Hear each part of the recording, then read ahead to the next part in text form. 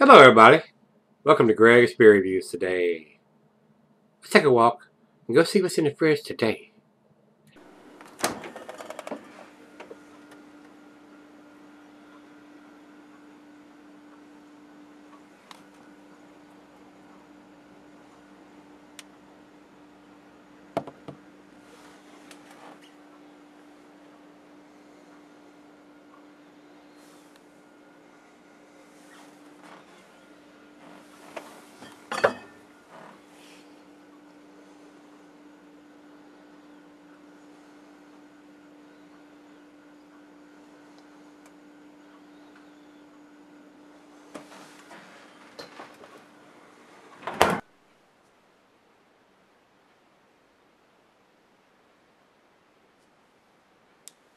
Hey everybody, thanks for stopping by Greg's Beer Reviews today.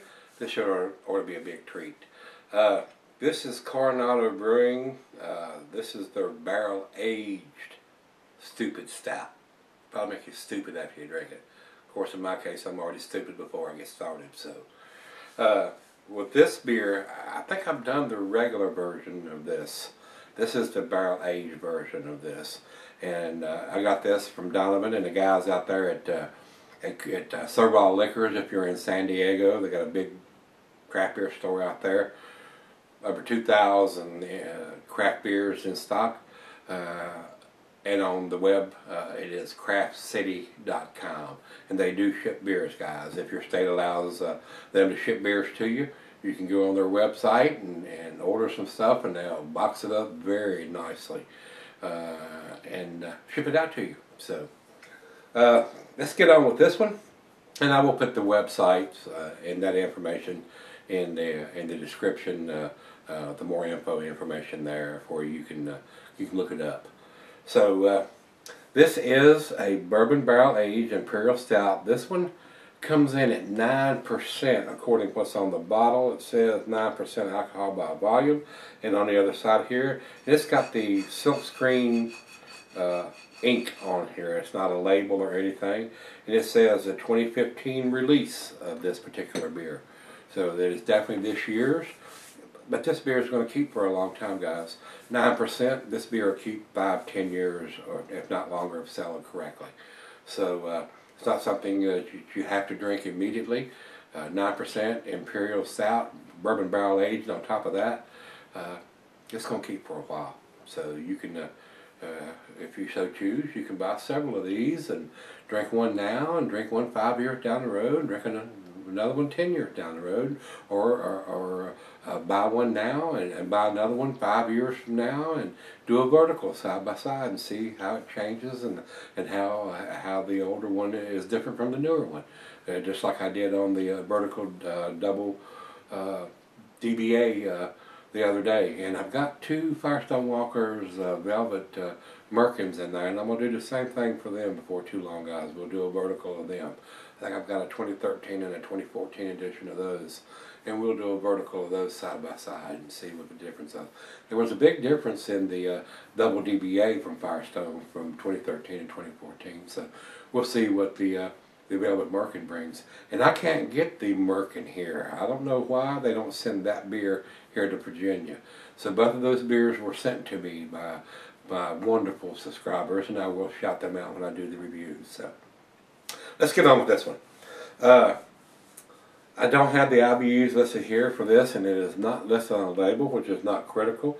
And all they have is 2015 release, so I don't know when in 2015 this was done, whether it was done uh, in January or June or, or October. Uh, I think it was. I think it's a little older than that because I haven't got anything from Donovan in, in a couple of months. So, uh, uh, not sure exactly when it was put in the bottle. So, but it is a 2015. It is this year's edition.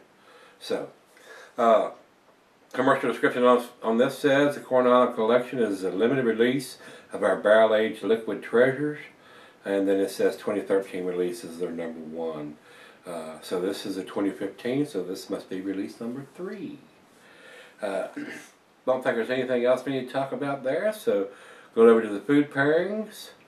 And the food pairings for the Imperial or the Double Stout, Says the cheese are buttery brie good Havarti Swiss. And since it is a stout, it goes well your chocolate dishes. And the meat is beef, smoked meat, game, and grilled meat. Glass for a pint Becker non tumbler snifter, oversized wine glass. You know what glass I'm using today, my favorite, the solid beer glass. And it can be solid for long periods, just like I told you a little earlier. So that is all we need to talk about. It is time to start pouring and sipping. Nice little hiss off of that. And this has got the little fancy bottle, almost looks like a miniature corked and cage bottle. It's got the big heavy lip on the side of it, but this is not a great big bottle. 12.7 fluid ounces. So, and it's filled all the way up to right there, about an inch of headspace in there. Perfect. Just the way it should be. And let's see what we get as far as the head. We'll go down the center on this one, guys. It's only 9%, but I don't think it's going to generate a massive head. I might be mistaken here. We've got about a finger already. Finger and a half. About a finger and a half of head down the center pour on that. Set that up there where y'all can see it. And about a finger and a half on that one. Nice off uh, white khaki colored tan head on that. Over into the light. There is none. It is pitch black, guys. Even through the thin part of the glass on the bottom, I cannot see any light through it. So it is black as night, and like I like to say, uh, motor oil, use motor oil color. And I like to reference my Harley. It's like 60 weight coming out of the old Harley.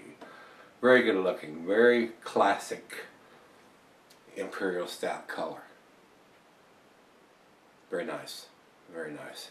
Down to about a finger of head, let's get a nose on it. Wow. Now the bourbon is not off the chain like a lot of them are, but I am getting it on the nose. A lot of rich caramel, toffee, dark fruit, chocolate. Maybe some hints of coffee in there prime candidate to fire up a Maduro cigar to go with this. Wow. Now as this now as this breathing more and more I am getting more of the bourbon. It's definitely there. Very wonderful nose. Very, very nice. Great looking beer in the glass. It's that time. Let's get it on. Cheers. Cheers, Donovan and the guys out there at Craft City and Servall Liquors.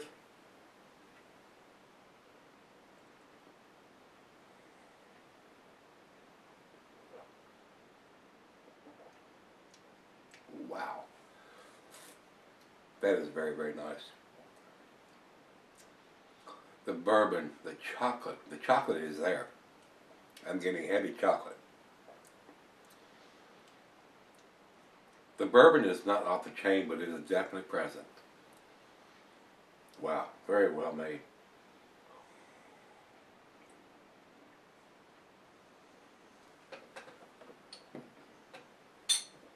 Dark fruits, plums, dates, raisins, figs, coffee, chocolate, bourbon. Wow. I cannot get the Coronado uh, beers here. I wish I could. I do wish I could. They make some really tasty stuff. But as long as your state allows you to get beers uh, shipped in, you can get right on the website, craftcity.com, and order you up some of this stuff. Very, very nice. Very, very pleasant. I like this. I like the taste. I like how mellow or how everything is combined and coming together. Nothing is uh, overpowering anything else very well. Prime candidate to cellar. Uh, this would be a great beer to put in the fridge or or, or, or cellar at, a, at the right temperature. Three, five, maybe even ten years, or even longer if you so choose. I don't think there's any, being a 9%, I don't think there's anything that's going to fade or, or, or you're going to lose. This is going to get better over time. Wow. I wish I kind of got two of these from uh, from Donovan when I, and uh, or even three. did one, do one fresh like I'm doing now, and, and then maybe three or five years down the road do a vertical. Uh, but you would need two different batches to do that. So uh, maybe uh, maybe I'll get another one from him and uh, put it away, and uh, three or five years down the road I'll get another one, and uh, we'll see how much a fresh one compared to one that's been cellared for three or five years do with the side-by-side tasting. Uh, wow, very nice. All right, guys, we take it back and let her have a sip or two or three, and then I'm gonna go outside and freeze my buns off and fire up a Maduro wrapped cigar to go with this nice dark rich beer, bourbon barrel aged beer, and uh, sip on it for a while. See what uh, see what we end up with on this one. Uh, so far, I'm definitely impressed. Very nice beer. All right, guys, I'm back. I got just a little up here. I've Been sipping on it about 35, 45 minutes or so. Been outside on the deck, about to freeze my ass off. God, I hate this cold weather. You give me a fire pit or something to put out there, set around. Uh, very nice beer, guys. Very, very nice beer. The bourbon is there. The chocolate is there. The dark fruits are there. A little bit of coffee. Wow. Very, very nice. The bourbon, bourbon barrel aged version of this is exceptionally well like I said, I think I'm, I'm pretty sure I did the regular version of this. This is a bourbon, bourbon barrel aged version of this. Very nice. Uh, can't think of a single thing that I would say to make this beer better. I would like to see a little more information on the label when it was put in the bottle, whether it was January of 2015, June of 2015, September of 2015. Uh, but you may be able to go to the website and see that, but you're not going to have that information when you sit on the shelf, unless you got a smartphone and you start looking all that shit up.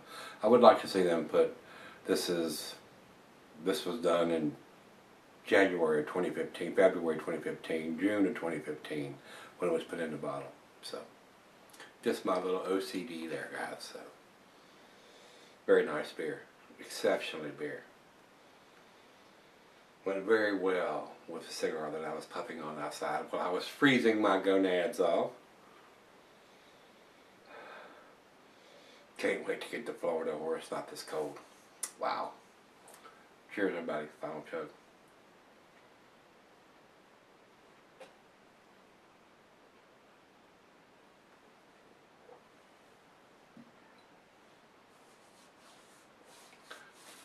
Very, very nice very, very well made beer. All the flavors are are there, very well combined for a 2015 edition. It's just going to get better if you cellar this beer, guys. It really is. Uh, I can just imagine what this beer is going to be like in five years. Be very, very tasty. Be very, very smooth. Get you in trouble. This is a beer. This is a sipper. This is something you want to drink at home, uh, or have a designated driver if you're drinking out in a pub or a bar somewhere. And, and all you guys out there in California that's enjoying this wonderfully warm weather while the rest of the nation is freezing their ass off, I wouldn't mind moving to California if it wasn't for the earthquakes and the fires and the landslides and the drought and all that. So uh, California is a very nice place. Been there, very lovely, enjoyed it. Uh, but a lot of things going on there, so I think I'll just head to Florida. Alright guys, very nice beer. Uh, it's a 9 out of 10 for me. Uh, and if you say, oh man, you're crazy, it's a 10 beer, would not argue with that. Uh, it is so close to being a 10 beer, it's kicking on the door. If I was putting a numeric rating on this, guys, it'd be a 98 or a 99. Very, very nice. Very, very, very, very, did I say very nice? Very nice. Over to uh, Beer Advocate. Uh, Beer Advocate says it's 87, very good. I kind of disagree with that. It's a lot better than that. Uh, I would add 10 points to that if it was me. Uh, like I said, 97, 98, maybe even a 99. And like I said, it, it, wouldn't it wouldn't be very hard for me to say, oh, it's a 10 beer, guys. I would not argue with that. It's uh, and and with a little age on this beer, three, four, maybe even five years, it probably is a tin beer. Uh, but not having a little more information on the bottle when it was put in the bottle, even though it says 2015 right on the label, and I know it's this year's edition, it's uh, it's just lacking just a little. I would like to see a little more stronger bourbon in it, uh, but a lot of people don't like that heavy bourbon taste. I do. I do. But everything is very well made. So like I said, 98 or 99 for me, guys. It's uh, very tasty. Over to Rate Beer. Rate Beer says overall 99. That's about where I'm, that's what I'm talking about. And 90 in the style. So 90s, 90s from me and 90s from uh, uh, Rate Beer. 87 from the guys at Beer Advocate. I think that number is considerably low considering what I've got in my hands here right now. 90, 98, 99 even. And like I said, if you say it's 100, would not argue with that. It is pretty damn tasty. It is pretty tasty. So if you've had this one from a Coronado Brewing Company out of California, let me know what you think. I enjoyed the hell out of this and I would buy it again. It is very, very tasty. And if you can't get it in your area, give the guys out there at uh, craftcity.com a, a shout and look at their website and, and order it for yourself. It's pretty damn tasty like I said, I would buy it again. All right, come on back tomorrow. Let's go see what's in the fridge. See you then.